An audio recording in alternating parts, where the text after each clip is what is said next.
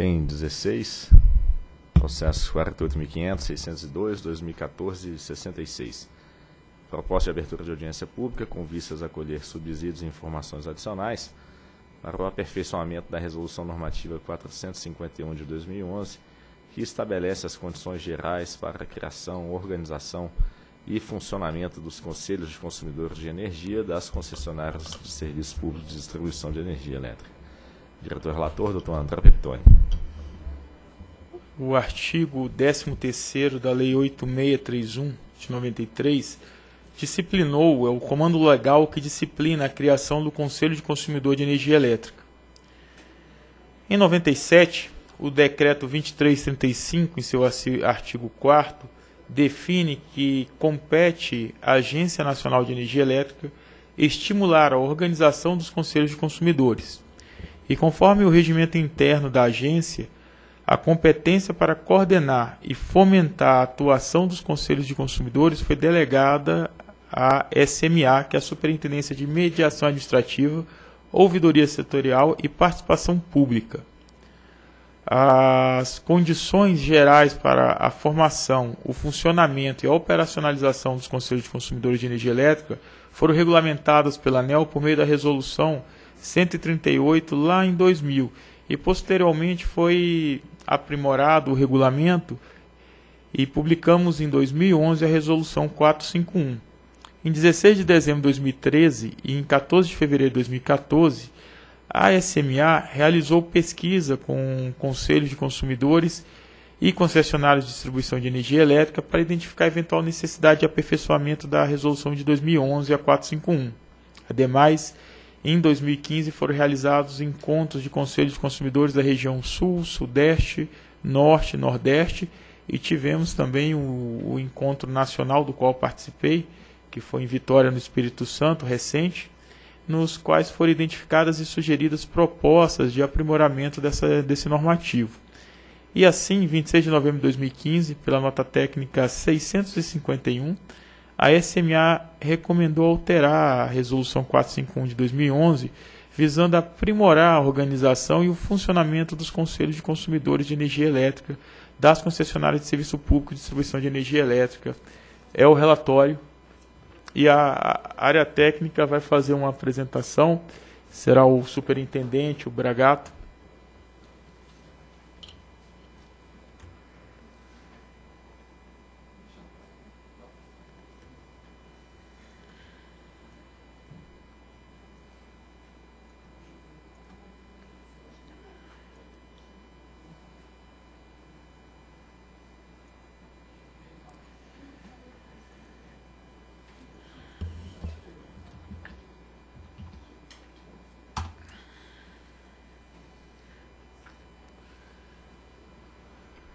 Bem, boa tarde a todos.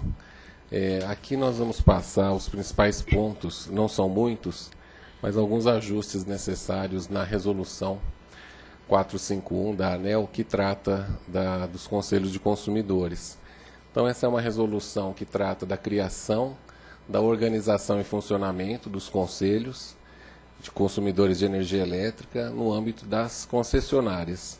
Então, as permissionárias não têm essa essa obrigatoriedade, isso fica no âmbito das concessionárias. É, é, um comando que vem da Lei 8631 de 93, que diz lá no seu artigo 13 que o concessionário criará no âmbito de sua área de concessão conselho de consumidores, então de caráter consultivo, com representantes das principais classes tarifárias, voltado para orientação, análise e avaliação das questões ligadas então ao fornecimento, tarifas, e ele fala das adequacidades dos serviços prestados ao consumidor final. Então, com base nesse comando foi instituída primeiramente a resolução 138, depois a 451 veio dar um grande, fazer um grande avanço nesse assunto e agora a gente está fazendo pequenos ajustes que se mostraram necessários porque no próprio desenvolvimento do trabalho dos conselhos. Né? Então, uma primeira medida que está sendo proposta é a ampliação do mandato dos conselheiros. Antes de dois anos, nós estamos propondo passar para quatro anos, porque a gente observa que os conselheiros, eles, é, com o passar do tempo, é, eles vão aprendendo muito sobre o setor elétrico e vão adquirindo um conhecimento que muitos deles não tinham. Né? Alguns são ex, é, funcionários de distribuidoras, mas muitos outros não, realmente chegaram e conheceram como uma novidade e o nosso setor é bastante complexo, muitos detalhes, né? Então, dois anos acabava, acabou se mostrando um período não muito adequado para o amadurecimento e a participação, a atuação desses conselheiros. É, uma outra proposta é vedar que o, o conselheiro, a participação de um conselheiro em mais de um conselho de consumidores no mesmo período de mandato. Por exemplo, tem, por exemplo, um conselheiro que ele é indicado pela Fiesp para representar os consumidores industriais. E ele, hoje, da forma como está, ele pode ser conselheiro tanto, por exemplo, na Bandeirante, como na Eletropaulo. E a gente entende que essa divisão de, de áreas de concessão para a mesma pessoa dificulta muito o próprio trabalho dele. Acaba sendo algo que é, é bem possível que ele não consiga desempenhar bem nem para um lado e nem para outro. Então a gente está dizendo que agora então a Fiesp ela deve indicar pessoas diferentes para áreas de concessão diferentes, para que não haja esse, esse acúmulo. É, um outro item que foi colocado agora de uma forma mais clara é estabelecer em norma é, que as decisões do Conselho sejam tomadas de forma colegiada. Então, isso tudo faz parte do amadurecimento dos conselhos. Então, a gente observava que alguns conselhos, muitas vezes, tomavam decisões que nem sempre é, tinham compartilhamento com os demais pares da, do conselho.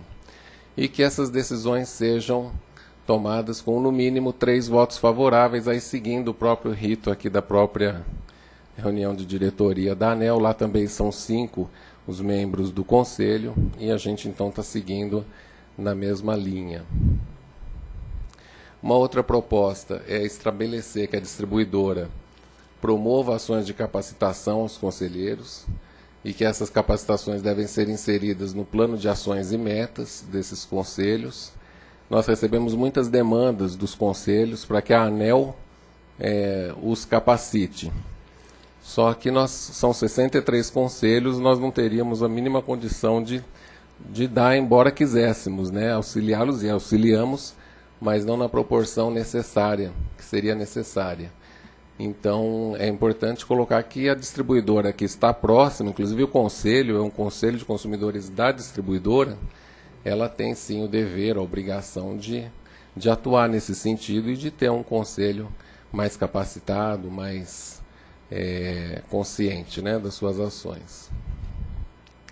Uma outra questão que nós identificamos a necessidade de estabelecer que pelo menos é, 75% dos recursos que estão disponíveis aos conselhos sejam utilizados em atividades dentro da área de concessão.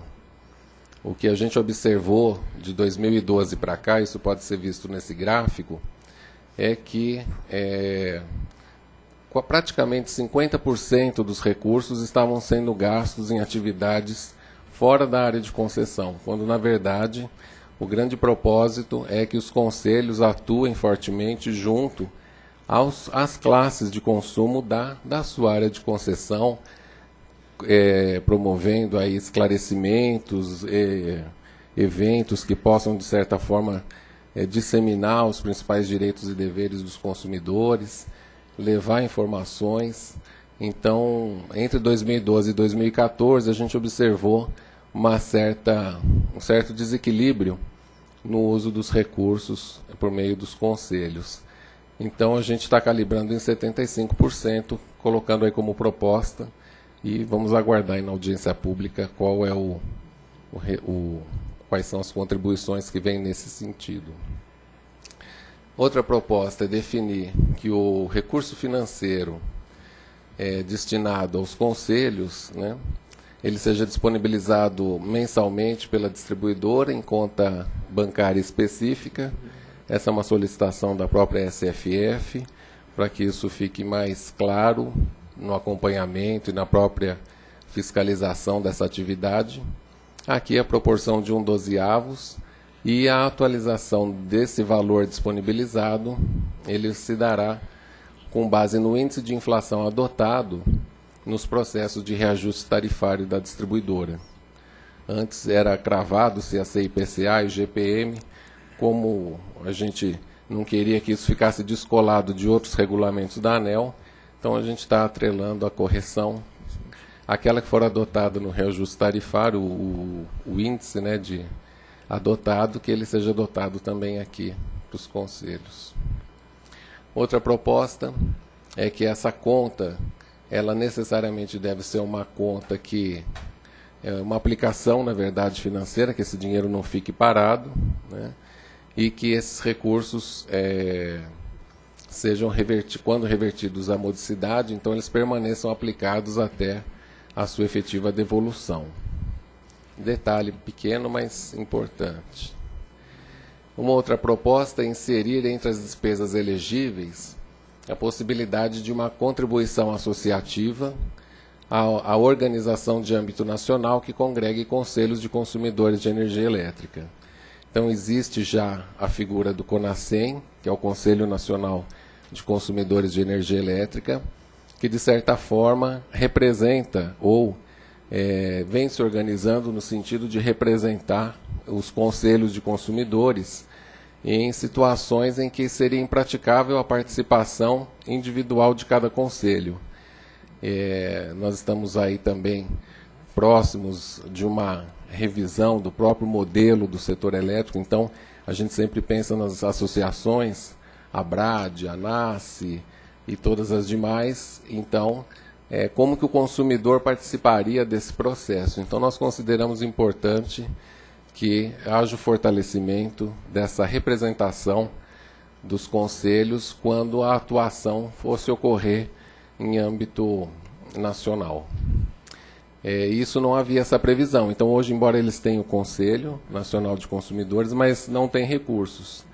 E aqui a gente está possibilitando, então, que um valor não superior a 2% do recurso destinado aos conselhos possa ser destinado a essa contribuição associativa, para que essa associação, então, possa desenvolver algumas atividades até mesmo contratar consultorias e que possa prestar um serviço em assuntos de âmbito nacional aos conselhos.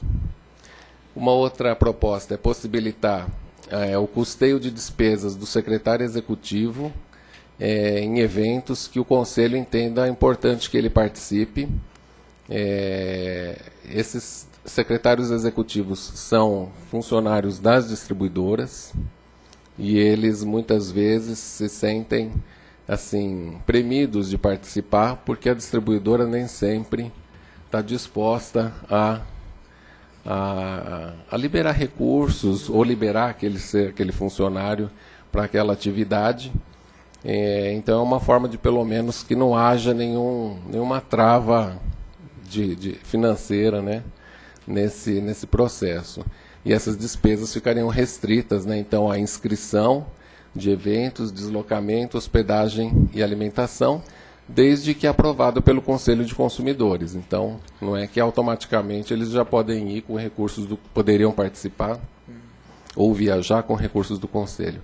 Mas o Conselho, então, se julgar pertinente que, que eles estejam presentes, poderia haver esse, a cobertura dessa despesa pelos recursos do Conselho.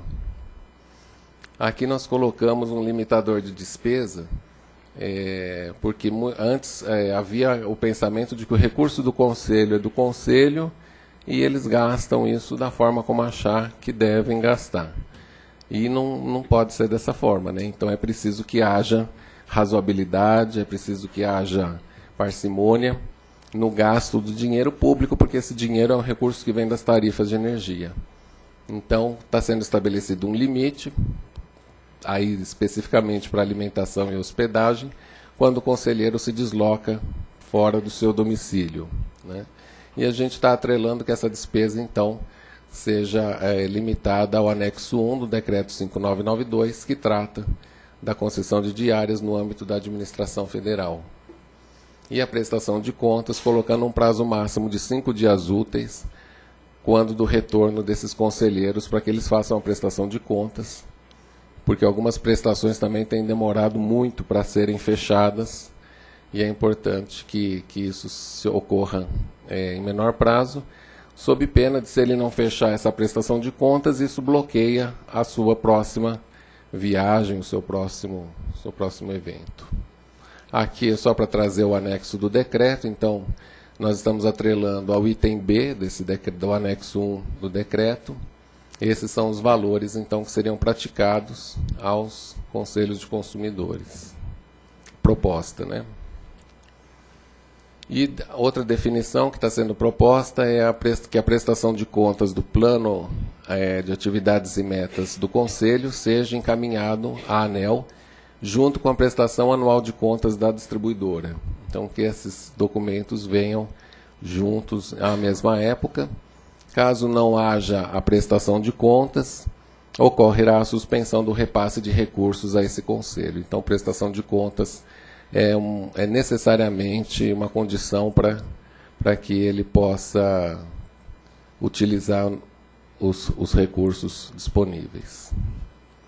Aqui é com relação ao site, então, é, o que deve conter a página eletrônica dos conselhos. A distribuidora pode hospedar na sua própria página, ou o conselho pode criar uma página é, independente, a gente não está restringindo isso. É, e aqui a gente está estendendo o mandato dos conselheiros, porque antes ele era de outubro de um ano a setembro do ano seguinte. E agora a gente está passando o mandato para ano civil. Então, os mandatos que se encerrariam em setembro de 2016, prorrogando até dezembro de 2016, para que daí em diante a gente utilize o ano civil. E dando um prazo de 90 dias para que eles façam os ajustes no regimento interno de cada conselho de consumidores. Então, são essas as, as principais propostas é, para serem submetidas em audiência pública. Obrigado. Agradeço ao Bragato pela, pela apresentação que fez, pela didática apresentação que fez. E aqui, senhores diretores, nós estamos abrindo então a audiência pública, trazendo essas inovações, esses aprimoramentos que o superintendente tão bem colocou. Se não houver objeção, eu não vou ler aqui o voto, que o voto apenas retrata os aprimoramentos que são introduzidos na norma, que, o, que o, o Bragato, de maneira muito didática, o fez. Então, passa a leitura do parágrafo 27 e registro que o objetivo da revisão é aumentar a transparência da gestão dos recursos públicos recebidos por esses conselhos, permitindo aos consumidores de energia elétrica de todo o país acompanhar a utilização do dinheiro público e contribuir para aprimorar as instituições participativas. A transparência e o acesso à informação são imprescindíveis para fortalecer, para promover o fortalecimento da democracia e da responsabilidade social.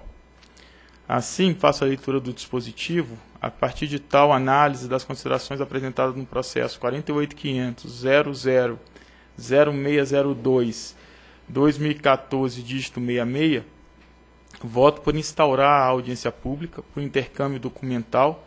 Vamos dar aí um prazo razoável para promover a ampla participação desses conselhos, que será de 10 de dezembro de 2015 a 8 de março de 2006. Vamos promover uma sessão presencial em Brasília, só que eu não vou fixar a data nesse momento. E digo por quê. O, o público-alvo de, de, dessa norma são, obviamente, os conselheiros. Então a gente tem que avaliar com, com os conselheiros uma data em que consiga ter a, a aceitação de todos para privilegiar, privilegiar né, uma maior participação aqui em Brasília. Então, ao longo aí da, do, do começo de 2016, a gente traz a data dessa audiência pública, então em essa, vamos deixar em data e horário a serem definidos, e tudo isso com o objetivo de aprimorar a resolução 451 que estabelece as condições gerais para a criação, organização e funcionamento dos conselhos de consumidores de energia elétrica no âmbito da, das concessionárias de serviço público de distribuição de energia elétrica. Em, então, em discussão? Quero só registrar, ah. é, é, doutor Jurosa. Primeiro, o empenho da equipe da SMA na elaboração dessa norma. Esse empenho que a gente pode é, registrar né, na pessoa do superintendente, do Bragato e de sua equipe, da Josiane, da Ana Paula e de todos que participaram da elaboração da norma. E quero é, registrar também que essa agência estimula. O senhor foi diretor ouvidor na, na gestão passada, então essa agência ela estimula sempre o funcionamento dos conselhos de consumidor. Por quê? Porque nós temos a convicção que investir na capacitação técnica desses conselheiros, a agência, em última instância, está ampliando a representatividade dos consumidores de energia elétrica nos processos de audiência pública, de maneira a preparar esses atores da sociedade para o debate e também criar oportunidade para que esses atores, para que os consumidores influenciem de modo continuado na formação das normas e da agenda regulatória. Como nós não podemos debater com consumidor por consumidor, então esses conselheiros seria esse vetor, esse elo entre os consumidores e o órgão regulador. E alguém pode dizer, não é uma esse, esse modelo não é a melhor maravilha do mundo. De fato não é. É, mas nem estou aqui para afirmar que é. Mas o que eu preciso registrar é que de fato não é a melhor maravilha do mundo, mas ajuda, ajuda em muito. Essa interação que nós estamos buscando aprimorar sempre. E por isso estamos aqui diante de um, de um aprimoramento dessa norma, justamente buscando melhor capacitar, criar condições para que esses conselheiros se capacitem.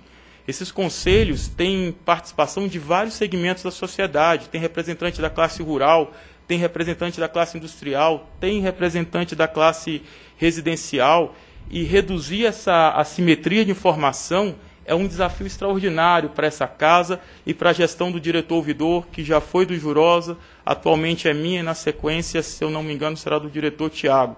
Esse é um desafio extraordinário que todos nós temos, reduzir a simetria de informação e fazer chegar essa informação ao consumidor, é diretor Rave, fazer chegar essa informação ao consumidor, um grande emissário, um grande vetor para isso são esses conselheiros. Então, faço esse registro, nós estamos sempre buscando aperfeiçoar a norma, é esse é um esforço continuado e permanente e isso engrandece é, as audiências públicas, que é por meio dessas audiências que a gente busca alcançar esse objetivo. E precisamos de participação atuante desse pessoal na, na audiência pública. Era o registro que gostaria de fazer. Eu gostaria de, de fazer duas colocações, até porque é, até o começo desse ano eu havia estado como diretor ouvidor e no ano passado, principalmente, foi discutido bastante com os conselhos e, a, e, eles manifestaram uma preocupação de eles não serem ouvidos, eles nunca eram ouvidos. E aí lá eles falaram o seguinte: não, mas nós vamos ter, queremos ter um conselho nacional. E aí nós falamos: exatamente aí que vocês não vão ser ouvidos. Porque se vocês querem falar, vocês já estão delegando essa, essa oportunidade para outros. Então lá atrás eu me mostrei bastante reticente a isso o, o superintendente que estava à época também era reticente a essa questão do, da criação do CONASEM, justamente porque você vai tolir aqueles conselhos de consumidor no, simplesmente dizendo o seguinte, não, como é nacional, um outro fala por você. Eu tenho uma preocupação. É uma abertura de audiência pública, mas eu tenho uma preocupação. Outra preocupação é capacitação por meio da distribuidora. Eu não vejo com bons olhos. Porque é o seguinte, eu acho que essa questão de conselho de consumidores, basicamente está tratando da 414, ela é é uma resolução da ANEL. A forma de interpretar, nós já observamos que as distribuidoras, em muitos casos, interpretam de forma diferente do que a ANEL interpreta. Em diversos casos, eu estive em reunião com os conselhos de consumidores e falaram, não, mas a distribuidora interpreta assim, falaram, erradamente. Aí, nós temos, eu, eu não estou dizendo que nós temos perna para fazer isso tudo, não. Eu só estou dizendo que eu tenho preocupação contra isso. Tá? é, eu acho que a gente tem que procurar o máximo possível nós capacitarmos, porque ele tá, o Conselho do Consumidor está prestando um serviço para a sociedade e ele, ele, é um fiscalizador da distribuição, da distribuidora. Se a distribuidora lhe capacitar de forma equivocada, ele vai fazer uma visão totalmente torpe daquele, daquele regulamento. Então eu tenho essa preocupação, é um registro que eu faço, é uma abertura de audiência pública bastante longa, e, mas eu acho que é importante a gente ficar é, atento a esses pontos. Então, em votação. Eu voto com o relator. Também voto com o relator. Também voto com o relator e proclamo que a diretoria decidiu por instaurar audiência pública por intercâmbio documental entre 10 de dezembro de 2015 e 8 de março de 2016, com uma, uma sessão presencial em Brasília, em data e horário a ser definidos posteriormente, a fim de aprimorar a resolução normativa 451, que estabelece as condições gerais para a criação, organização e funcionamento dos Conselhos de Consumidor de Energia Elétrica, no âmbito das concessionárias de serviços públicos de distribuição de energia elétrica. Próximo item.